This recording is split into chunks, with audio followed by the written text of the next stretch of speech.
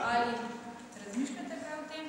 Drugo vprašanje je v zvezi s ceno knjige, ker ne glede na to, da je 10 evrov, se mi zdi, da je precej preveč za učence, da to plačujejo, ali je možno, da bi bila minimalna cena, da ne vem, največ 5 evrov, da se lahko vsi učenci, ki želijo kupovati knjigo, kupijo in da vanjo tudi kaj zapišejo, ne da ima 20 učencev, ki se pripravijo na tekmovanje dve, tri knjige in jih treba kar naprej sposojati. In pa tretje vprašanje bi se pa navezovalo na vas in sicer govorili ste o tem tekmovanju na šolskem, regijskem in pa na državnem nivoju. Zdaj pa jaz si to ne znam predstavljati, če piše, recimo naredijo film na šolskem, kaj potem na regijskem in kaj potem na državnem. Ali pa še nekaj bi tukaj vprašala pri dramatizaciji, jaz samo besedilo ali tudi praktično, da potem lahko odigrajo. A lahko, a lahko po vrsti. Najprej odgovor na prvi del. To najbrž jaz, ne? Uh, čakajte, uh, prvo vprašanje... Dramsko besedilo. Kako? Dramska. Dram, dramatika. O tem sem razmišljal ravno, ko sem ta tekst pisal, o katerem sem prej govoril. Dramatike v resnici še nismo nikoli imeli. In mene uh, prav zanimivo bo to, ker bomo najbrž imeli eno od teh tem tudi zdaj na prihodnih, uh, pri, pri, pri, pri prihodnih sejah, ko letošnje tekmovanje mine. mine. Jaz ne vem, torej dejstvo je nekaj. Dramatika velja za bolj priljubljen žar med otroki 8. 9. razreda in na vzgor. Če referiram, ne govorim na pamet, ampak referiram na raziskavo priljubljenosti slovenščine, ki jo je Dularjev urad naredil, če se spomnite. Zelo radi imajo dramatiko, malo manj prozo in še manj seveda poezijo. To bi seveda upravičvalo to. Zdaj, vprašanje pri dramatiki je pa tole. Koliko potem je tudi v gledališkost tega, v skratka, izvedbe tipa nalog, ali bi šlo torej za preverjanje res samo z možnosti branja dramatike ali ne. In bojim se tudi, da zlasti pri slovenski mladinski dramatiki, otroški dramatiki, v zadnjem času ne bomo našli kaj zelo dosti kvalitetnih tekstov te vrste. Je pa vprašanje absolutno na mestu. Res je, dramatike še ni bilo in bi nam bil to lahko poseben izziv. Cena knjige, v zvezi s ceno knjige je tako. Um, Razno razni kritiki so se spotikali tudi ob to, ker je Zavod za šolstvo na spletno stran obesil naslove, kje se knjige da dobiti. Samo vzel je naslove iz založb in dal to, češ da potem mi ne vem kakšne blazne milijone evrov služimo s tem. Če bi se neposredno vtikali v to, koliko naj bo cena knjig, bi verjetno takih očitkov bilo še kaj več. Je pa nekaj res. Vsa leta doslej, ko je bila kakšna knjiga na novo izbrana, so ceno knjige ponavadi zelo znižali. Zelo znižali. Spomnite se recimo Pavčka pred leti. Državna komisija se zaveda tega problema absolutno, zato vedno poskušamo od drugega razreda na vzgor do četrte prednje gimnazije reči, v redu, letos damo to knjigo na novo, pa bomo kje drugje rekli, katerakoli izdaja, naprimer Sovzic ali kaj podobnega. Ne? Tako da poskušamo uh, računati na to, da šola ne more zdaj kar naenkrat kupiti za 500 evrov knjig, ne samo zaradi tek tekmovanja. Da bi pa lahko direktno vplivali na ceno knjige, pa razen to, da prosimo svoje prijatelje, ne dajo čim bolj normalno knjigo uh, oziroma ceno, seveda ne moramo. Ne. Uh, jaz vam drugega kaj ne znam povedati. Ne. Razen, da ustanovimo založbo za Cankarevo tekmovanje, zdaj se seveda hecam, desetkrat povem, in vidno z direktorjem hodiva potem na jahto iz profita iz Cankarevega tekmovanja. Ja, ja, ja. Tiste pa financiramo z ministrstva za kulturo. Ja. Torej, da bi mi izdajali knjige, ne, to ni mogoče. Zavod je strokovna inštitucija, ima strokovno komisijo, ki vodi in če bi izbirala knjige najprej po ceni, potem najbolj to ne bilo strokovno takovano. Po drugi strani potem pomeni, da bi že v začetku pritisnili na avtorja in, in ga od njega zahtevali znižene cene. Potem bi pa res bili koruptivni. Že to so bili koruptivni, ker smo kjer, kjer so nekateri najdli nekatere povezave, ki dejansko sploh ni bilo videti. Je pa to en, en ampak jaz tega na, na nikoli ne znam. tega ne bo naredil, lahko kdorkoli drug to naredi, ampak zavod s komisijo ne bo tega naredil. Ne, se nisem želela tako zakomplicirati, samo sem želela, da bi otroci lahko na... Da bi bile knjige dostopne. Ja. Letos nam je ravnateljica rekla, da denar je za knjižnico. Mi nekje smo izvrtali denar, da od občinskega sveta sem nafehtala nekaj, da smo kupili nekaj knjig, ne, recimo, konje dolgi mož. Ja. Ali lahko še glede tega, ne, se mi zdi, da je stvar uh, zelo dvomljiva, vprašljiva. Vsekakor zavod se pri teh stvarih dejansko ne sme izpostavljati in se ne more izpostavljati. Druga zadeva je pa tole, eno preprosto pravilo je pa lahko. To so lahko študentske, zelo skromne izdaje, mrke bladnice, slab papir relativno in to bi stroški relativno padli. Samo vprašanje, s kakšno, ali lahko z pozicije moči sugeriramo na morebitne izdajalce. Boh ne dej. Boh ne dej. Samo to. Pri, to je možno. To je lahko se seveda tudi stvari predpisuje, ki se ne po ne po ne Drugi del vašega vprašanja je pa vezano gospod. Ja, glede kriterijev, jaz sem povedala, zdaj smo pri dost osnovnih kriterijih, kar se tiče uh, te razdelitve. Ideja je seveda, da se določijo za vsak nivo posebni kriteriji, ki bodo seveda potem lahko, objek, s katerimi bi lahko objektivno ocenjevali dela. Seveda bo pa, bodo pa v bistvu tekmovanja posamezna kot neke vrste rešeta za tisto, da bojo potem tisti, ki so boljši, prišli lahko naprej. Ja. Hvala lepa. Za vse, tam ne. Iste. Najprej eno čisto kratko razmišljanje, potem pa tudi eno vprašanje. Ne vem, nije knjige, ki bi mi preprečila na zanimiv, odštekan, ustvarjalen, kreativen, drugačen način izkopati besedilo. Zato reakcije svojih stanovskih kolegov, to so to v knjigah, so mi nerazumljive. In se pravzaprav čudim, zakaj smo knjigo omaknili.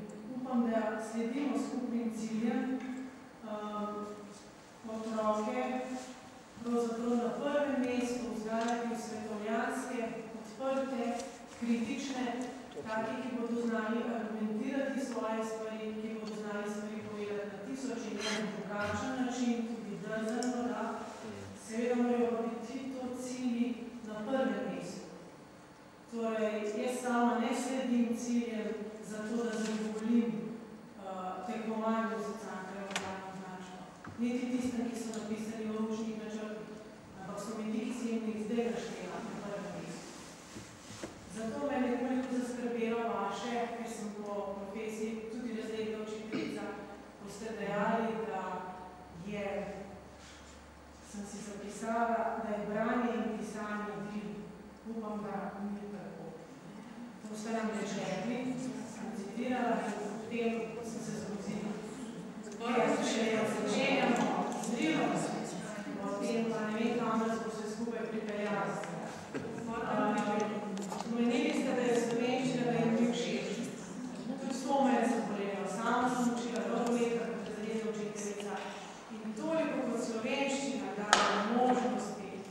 raznolikega pristopa, me ne bo nihče prepričal, da otrokom ne more biti všeč. Matematike in.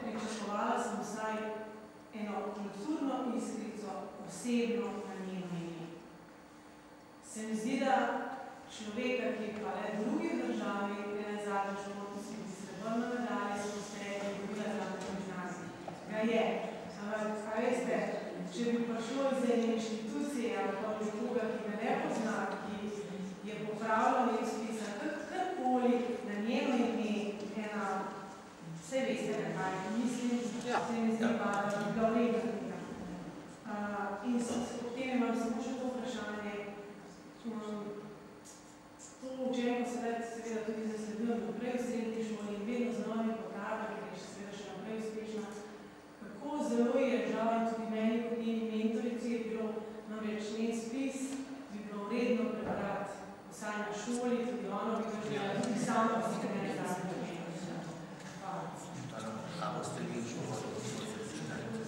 Ja, se strinjam, jaz ne moram drugega reči. Prvič z vašim razmišljanjem o kritičnosti in podobno, no, umaknili, ne umaknili, zdaj, kako, kako to rečemo, ni važno. Če kdo želi, lahko bere predina, je res. In če pa kdo tega ne želi, pa lahko rekaj drugega. Se pravi, nismo ga v resnici prepovedali, ne, ali pa umaknili.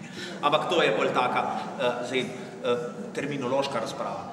Lejte, jaz vam povem lahko to. Jaz ne vem, kaj bi vse moral narediti in kaj bi bilo vse prav. Verjetno bi bilo res prav, da se najboljše spise tudi kje objavi. To spet neko organizacijsko zgodbo, finančno ne nazadnje potegne za sabo in podobno. Jaz sem se to zauzemal, da bi se dobri spisi, če naš drugega sfotokopirali in dali v neko mapo in podobno, ali pa recimo takrat pri distorziji, mislim, da, da so bili na spletu, če se prav, če se prav spomnim. Mislim, da so bili najboljši, ker sem jih zdaj pred nekaj časa gledal, ali kako? Je bilo na spletu. To se pravi, da tu, tu kot povratna informacija je. Je pa res ta, ta neka svečanost na koncu, se, se mi zdi, da bo o njej treba res razmisliti. Ampak pustimo zdaj formalizme. Vsem vam povem, če boste naredili tako, kot je na šola pred leti, in, in tamle ne v Bežigradu, no, ki je, na Viču je, je rekla, pridite k nam, imamo dan šole in čestitete našim tekmovalcem za Cankrevo, bom z veseljem prišel. Ni vse treba v neke pravilnike in formalne obrazce dati. Če me pokličete ali pa mi pišete, moj mail imate itak javn, z veseljem pridem, v tem primeru bi lahko prišel. Pa tudi na, na Gorensko ali pa na Belo krajino, evo, vseč.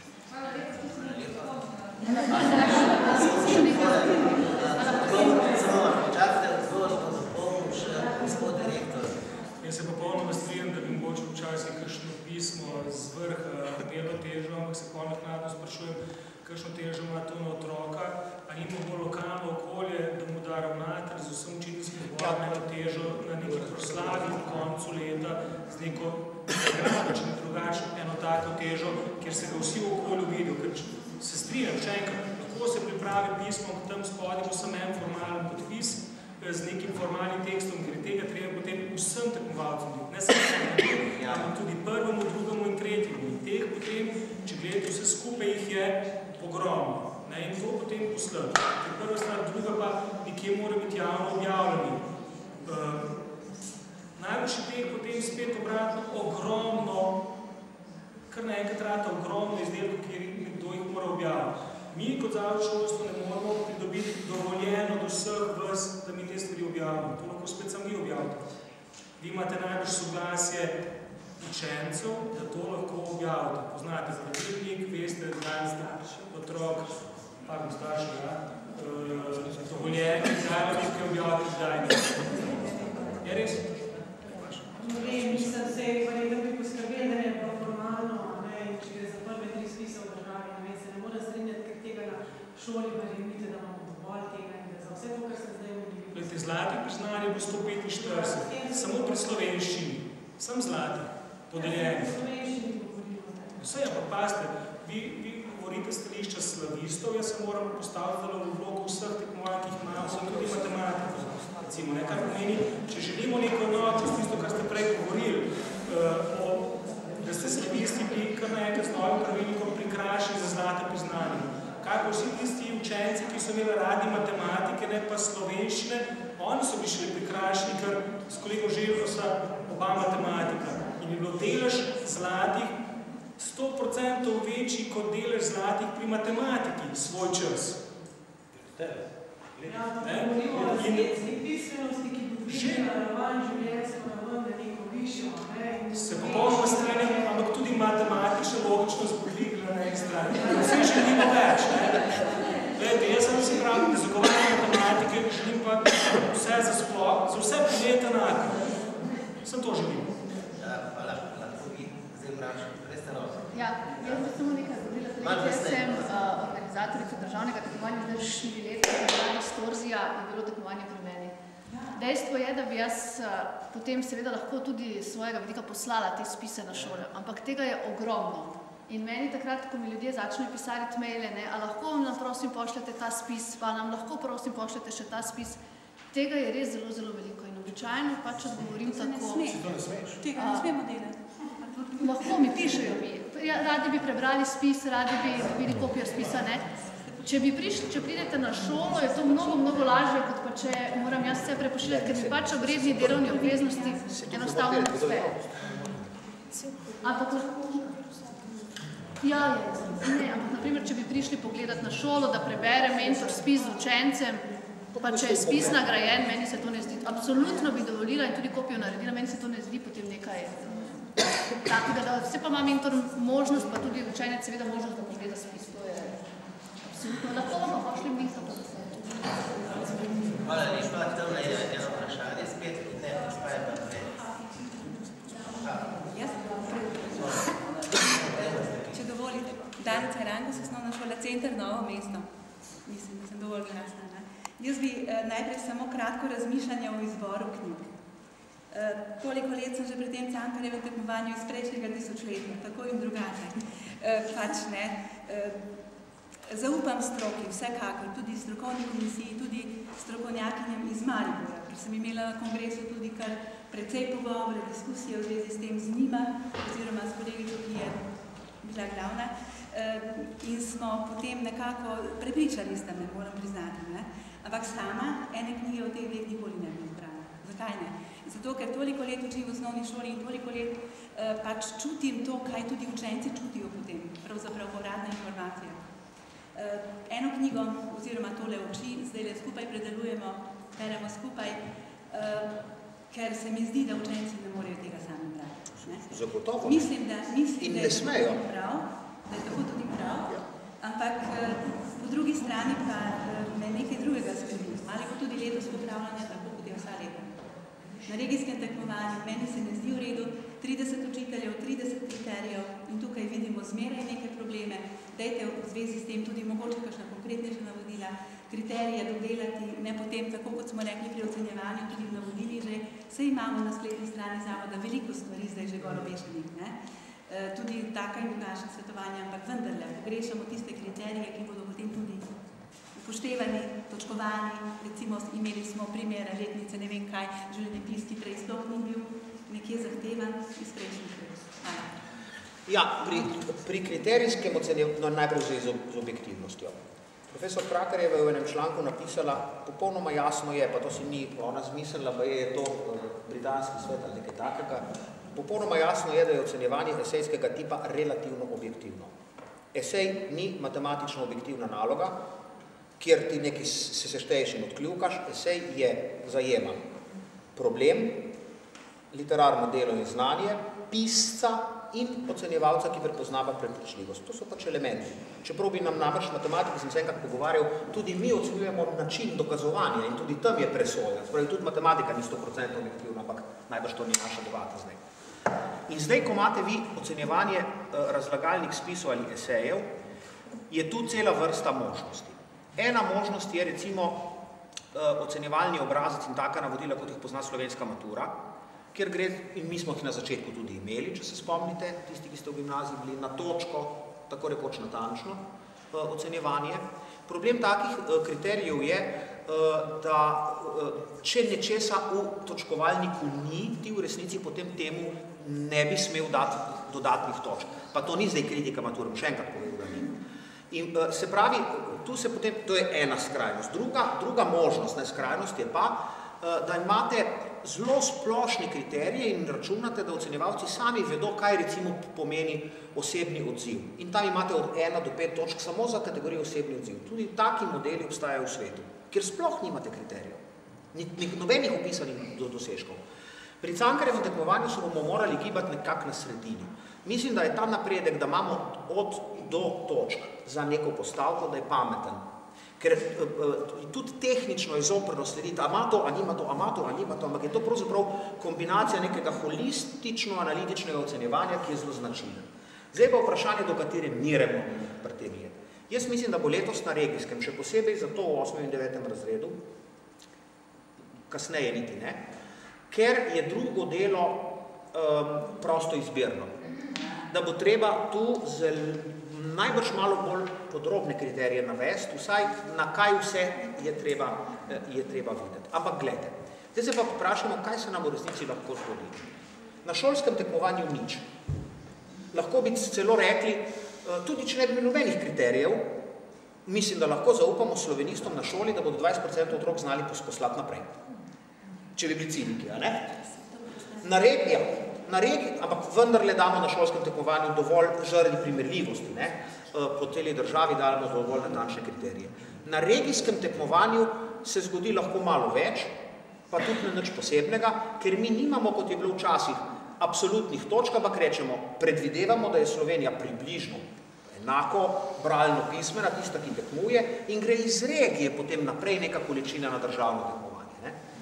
Ja, je pa res, da je na regijskem tekmovanju težava najbrž v tem, če bi se zelo velike razlike med ocenjevalci pojavljajo, kako potem s tem ravnati. Ampak tu mora biti najbrž kriterij dost dodelani. Na državni petak spet ni nič, ker pa, tam pa komisija pač presoja, ocenjuje, izbira, zlaga, kupčke, boljše, slabše, prebere, prebere, kateri so dobri in tako dalje. Ne? Lahko samo še eno izkušnjo, recimo. Ja. Države imamo s tem, ker so pre, preveč podrobni. Ena točka za to, ena točka za to in potem nam tam ne gre skupaj. Ne? A preveč podrobni? Nizko, preveč podrobni. Aha. Ker je ena točka od 50 za to, za to, za to in tako. Ne? Ampak čakajte, za osnovno šolo ali... Osnovno šolo vzimamo. Osmi, deveti razred. Recimo, ker potem je pa tisti, pač ne, izkušnje, da to kaže, da je boljše Ja. tisti vtis, prvi vtis, ne, in potem recimo točkovanje. Potem A jaz sem se bal, da so premalo podrobni. Ne, mogoče preveč. Določenih stvarih. Torej, to ste No, zdaj vprašali. tako. Ja, se bo kako razmislila o tem, kaj je gospa Pin. Lidija Skobej iz osnovne šole Drska Novo mesto. Ja. Jaz bi se pa malo vrnila še na, na tisto knjige, na, da so bile na zavadovi strani. Čisto prav. Deset let nazaj sem jaz tekala po knjigarnah dobesedno, ker smo imeli vsa leta težave s knjigami. Šele oktobra sem uspela knjigo dobiti. Letos sem imela 17. julija knjigo na zeleno vejo v rokah. Brala, pripravila stvari. Potem se je začelo vse to na spletu. Učenka, lanska zlata, Cankarjeva iz 8. razreda, letošnja devetošolka, mi je poslala 22. julija mail, učiteljica, skratka, zaskrbljena, forum in tako. Do 15. septembra smo že imeli naročila za knjige.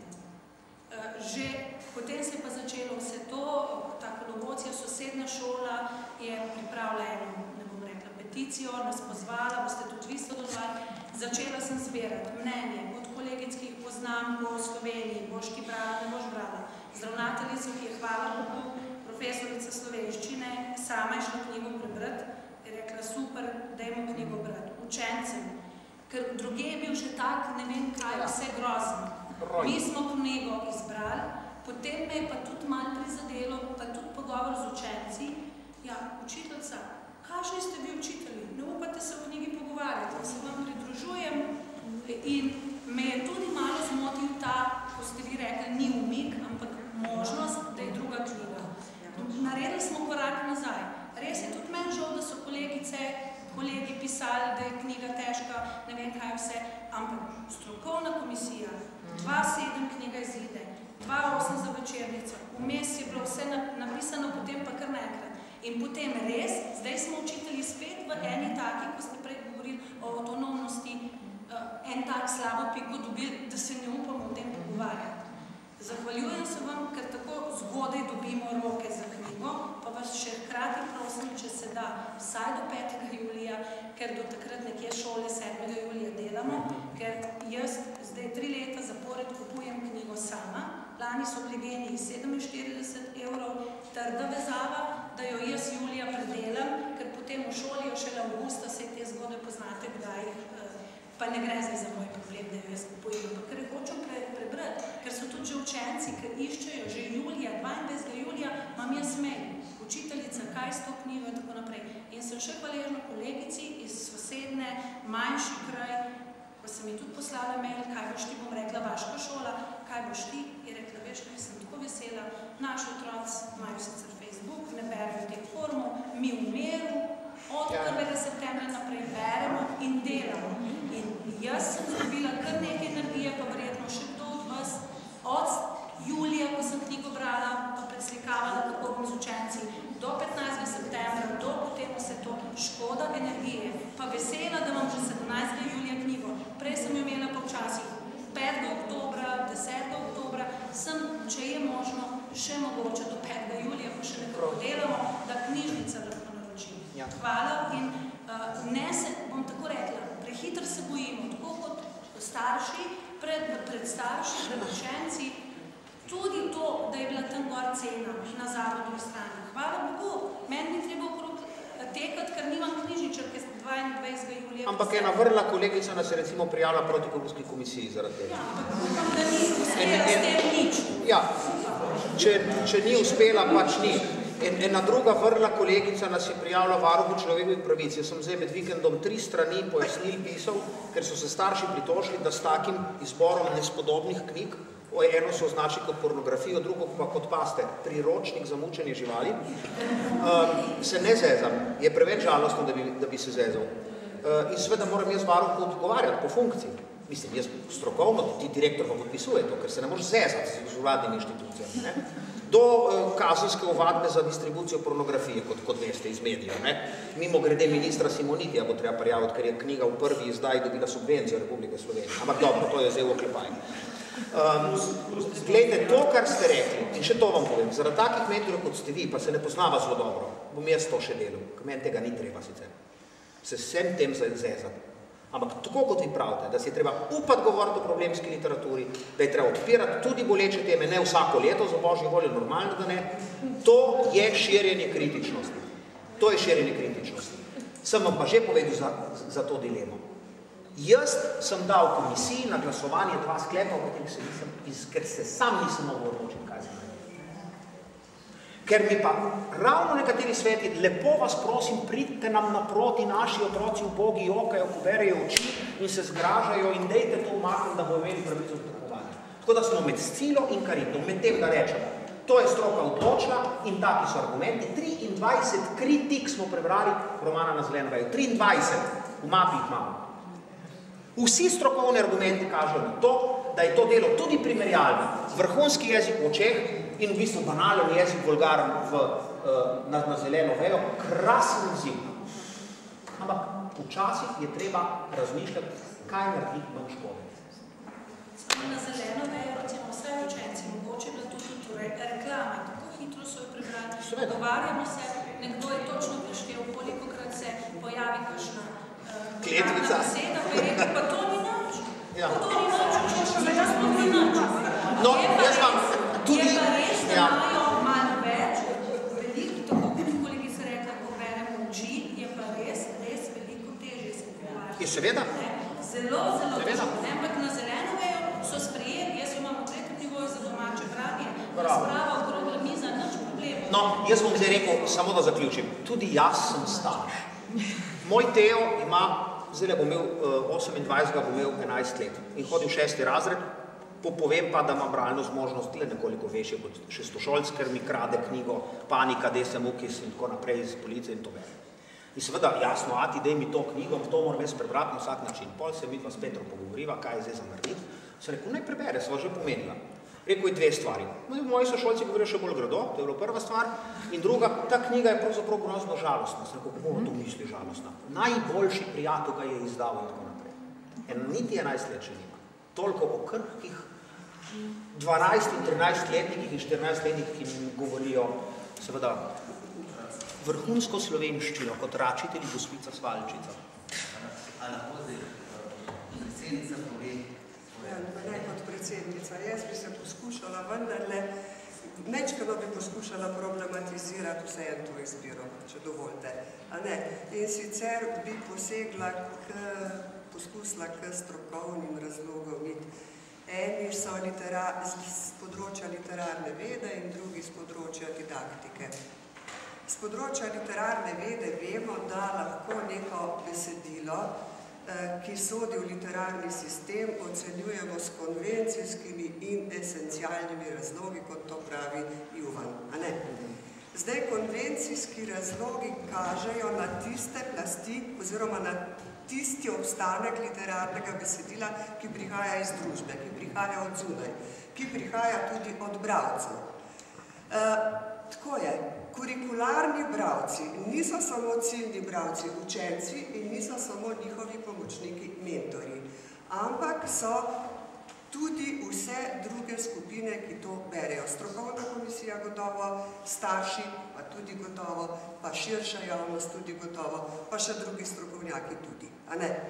In takrat, kadar je kritična masa, to bi neka preštevna metoda pokazala, a ne? Eh, teh bravcev, ki tako besedilo odkladjajo, eh, se mi zdi, da pač se je treba vprašati še potem, ali obstajajo tudi kakšni esencialni razlogi, da se tako besedilo, da se to besedilo skratka povzroči toliko hrupa. Eh, Jaz mislim, da glavni razlog ni to, da je to problemska literatura. Seveda je, problemskih knjig je veliko.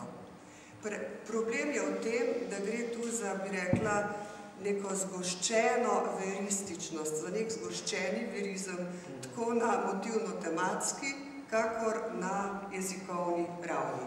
Kar pomeni, da eno z drugim eh, sega čez mejo, bi rekli, neke normalne, povprečne recepcije ne, in po, pošilja ali postavi ta roman na neko drugo stopno, se sem prej rekla, radikalne tujosti. No in zdaj sledi didaktični razlog, To bi spet povedala preštevne metode. Jaz mislim, da je objektivno ugotovljivo, koliko je motivov, ki so tu, bi rekli, take, bi rekli, zgoščeno veristične vrste in koliko je takih jezikovnih izrazov. Mislim, da bi ta preštevnost pokazala kar en, eno čezmerno kvantiteto tega. Kar pomeni, da z didaktičnega stališča, ne pravim sam jaz, ne pravim tudi drugi, eh, knjige na tej ravni, ki se znajdejo na tej ravni, ne kaže predpisovati v šolskem sistemu. Predpisovati. Ja, pa se to ni šolski sistem, Boža. Seveda, kakor vzgojno-izobraževalni sistem to je. Kaj da ni? No. Ja. Ampak, glej, jaz, jaz ti ne, ne bi pomislil, da bi to dal kot kanonski avtor, v, kot kanonskega avtorja. Se ni kanonski, se ni kanonski, kanonski mora prestati test Ja, no, časa. To da bi, torej, da bi jaz na način kanonskega avtorja tako stvar predpisal, nikoli ne. Zato, Ja. ker Jaz, moje, ja, moje, ja. moje stališče, kar se tiče, torej, to, kar opisuješ, je seveda točno. Vsaka problemska literatura je tuja in vsaka, na, Ne, bi, bi ne rekel, na ta način, ne nujno. Glej, to ti Peri Nodelman op- op- opisuje v svoji znameniti knjigi Užitki branja mladinske književnosti. Funkcija, temeljna funkcija problemske literature ni v toliko v tem, da kaže probleme, kot da kaže tako imenovano cenzoričnost, kot on pravi. To se pravi mehanizme zavračanja pogovorov to vrstni tema. To, kar je tudi kolegica opisala, pa ni naprej. Se pravi, pr- da je nekaj problemsko, mora vzbujati v neki določeni skupini neko nelagodje ali odpor, Ja. eh, da se o tem lahko pogovarjamo. Zdaj pa, jaz sem na, na cele vrste seminarjev za moje sloveniste in tudi prej povedal eno temeljno stvar. Mi se moramo izogibati radikalnim problemskim temam. Recimo, kaj bi bila ekstremna izbira tabujske teme? Dati malo v napačno odločitev, recimo v gimnaziju. To bi bila ekstremna tabujska tema. To je roman, ki, ni, za- ki je za odrasle, ki ima eksplicitne spolne, in tako, vse, vse poznamo tudi zgodbe o tem. To bi bila ekstremna izbira. Ekstremna izbira je, če ti ideološko postavljaš tabujsko temo. Recimo, da bi jaz dal četrti in peti razred osnovne šole uh, Jožeta Snoja, Škorček, Norček. To je besedilo o abortusu in smrti. Sama pojem abortusa je tako ideološko obremenjen, da bi zagotovo imel stokrat večje zgodbe. Ali pa da bi glede na aktualnost dal recimo slikanico Stanko Smotrije v drugi in tretji radi osnovne šole, ki govori o homoseksualni ljubezni. To so ekstremne tabujske teme, ne pa roman, ki, kjer mularija nekoliko preklinja, kar je res, in ki je predvsem zelo humoren. Kajti izrazito udarna tabujska tema, izrazito udarna tabujska tema je tista, ki s tabujsko temo dela zares. Zato so oči težje za obravnavo kot na zeleno vrejo. Se je trdno prepričan. Ja. Oči so težje za obravnavo, Ja. to drži. So pa literarno ve bistveno bolj vrhunske. V tem smislu jezika, kompozicije in to. Celo Merc nam to priznava, Vse, mimo vse grede. knjige, ki jih ti naštevaš, seveda nimam nič proti temu, da se jih obravnava in jaz tudi mislim, da jih je vzgojno obravnava. Tako in poučno. Vendar eh, izkušnje kažejo, da literarni sistem vendarle deluje tako, da em, dela po svoje ali reklamo ali pa škodo, eh, eh, škodo literarnemu pouku in njegovim namenom in drugič reklamo za knjigo, ki tega ni vredna. V tem primeru, to je v primeru na zeleno vejo. Ja, to, to imaš isto stališče komerc. On pravi, da je so očin vrhunske, to pa je neki ni sinteza. Pa tako. Jaz mislim drugačno. Jaz mislim, da je nezmerno odlična knjiga, ker je, kako že Matej Bogataj v knjižni listih temu pravi, um, izrazito mozaična, razstavljena in tako naprej. Zelo, zelo, zelo drugače. Kritiki o tem menijo, kar je najbrž dobro. No, seveda, se vsak meni nekoliko drugače, no, ampak drži, no, da strokovnega stališča. A veš, ampak to, ok, ko se mi dva takole prepirava, kar je meni grozno všeč, je to super. Ampak ti pa univerzitetna didaktika, kakve druge vrste, ki si jo ti tako med vrsticami omenila, govori, da gre za eksplicitno pornografijo, bi pa jaz take gospe upozoril na to, da je dolžno vložiti kazensko ovadbo za razpečevanje pornografije. Ali pa ne takih izrazov ne uporabljajo za a priorno diskriminacijo stvari. Dobro, zdaj smo soočili dva strokovna pogleda, dva sta nekaj ilegalna. Jaz imam eno razmišljanje, pa eno v bistvu retorično vprašanje. No? Razmišljanje je to, da sem bila zelo žalostna, ko ste dali knjigo na izbiro, ker jaz sicer sem, uh, ne, uh, da tist, kar je zbrano, se pač bere. Včasih pa to je, ki izbire, hočete, oprostite, pardon. Ne, ne, bom povedala, ne, ne, bom povedala zakaj, ne, ker um, še vedno ne verjamem, da bodo učenci za to grdo govorili in da to ne spada skrača, ampak povedala bom zato, ker nosimo breme in to uh, ne težko, jaz se tega rada lotevam, aha, Martina Glop, osnovna šola Sostro, staršev. Torej, jaz sem zdaj grda, ker sem to knjigo izbrala, ker na zavodu ne, so pa rekli, da je lahko ne zbilo. Ampak jaz sem jo pa izbrala in sem bila od staršev, samo vklicani diplomirani pedagogi in tako naprej, skratka intelektualci, maile, da smo izgubili kompas in to želitve na, na, na nivoju jezika, bom rekla, frizerke, to je ena stvar. Um, in druga stvar je ta, da mi je žal, ker uh, imamo v razredu uh, vsaj 5-6 učenk, ki so dobre v pisanju in ne smejo tekmovati, pa so njihovi starši rekli, da ne smejo iti. Medtem, ja. ko one so prebrali in si želijo iti, ampak ne smejo iti. Ja, to je pa zdaj vprašanje, kdo varuje otroke pred starši, ne, ki ni nič retorično.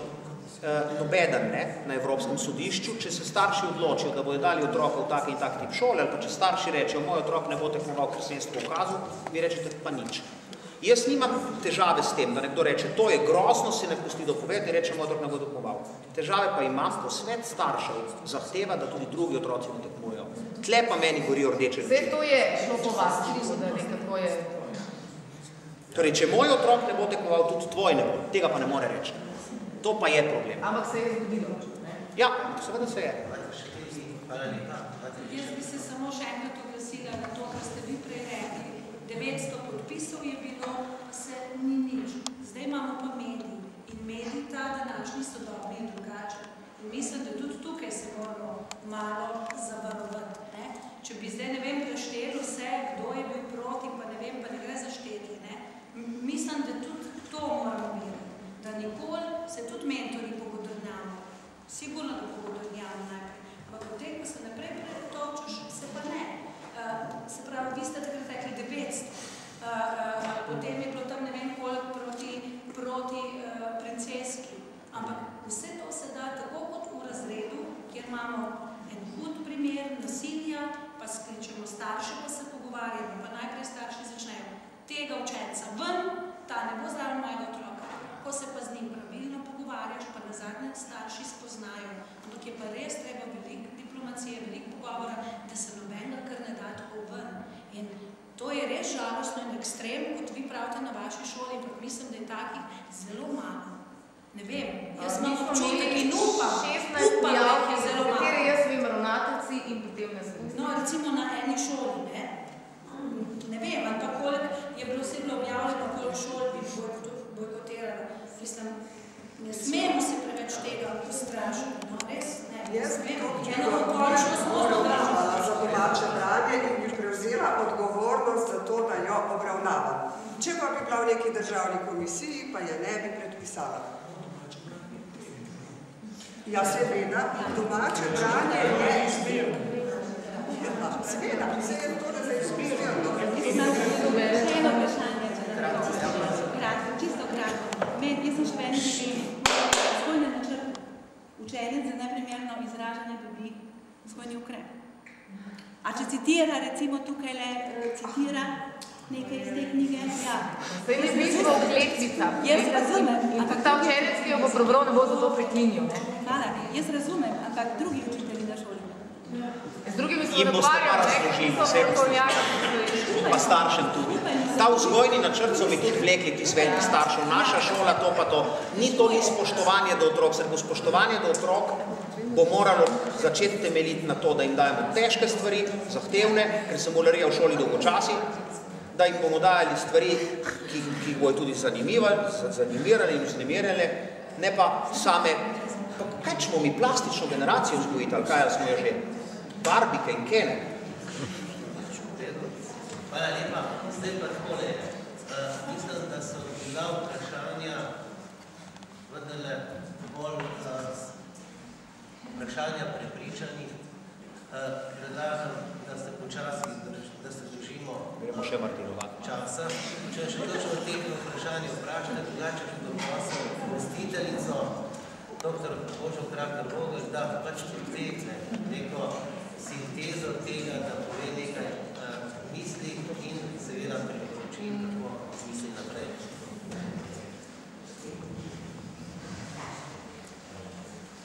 Ja, pripeljali smo to naše razpravljanje do konca. Mislim, da eh, zelo strpno, eh, informativno, poučno, eh, tudi z različnih vidikov osvetljevali probleme, pogledali nazaj, zdaj in naprej. Vse tri časovne pramene argumentirano in da je s tem pravzaprav namen tega prvega posveta dosežen kaj se bo zdaj dogajalo naprej. Uh, kaj bo od tega sprejela državna komisija, bomo videli, ali uh, mi bi priporočili, da nekateri stvari organizacijske, morda tudi vsebinske narave še razmišlja, ali uh, mogoče bo malo manj članov, ne vem, zakaj je toliko treba, pa tudi kakšno pravilnik, ampak težko sem skozi 26 članov, ne? Uh, ja, to so podkomisija, dobro. No in da uh, skratka razmišljamo o tem, da vsak na svojem mestu, tudi vsi drugi. Jaz nočem reči, da se moramo bati literature, da se moramo bati staršev, ampak da moramo resnično, to je prava pot, se z njimi pogovoriti in jih povabiti na obravnavo. Na obravnavo kakšne take knjige. Torej, jaz mislim, da je tudi to lahko eden od sklepov, da starše seznanimo s tem, kaj bodo brali naši otroci in zakaj bodo to brali. Toliko za danes. Hvala lepa vsem za potrpežljivost. Hvala razpravljavcem in eh, referentom za modre misli, konstruktivne in eh, lepo martinujte.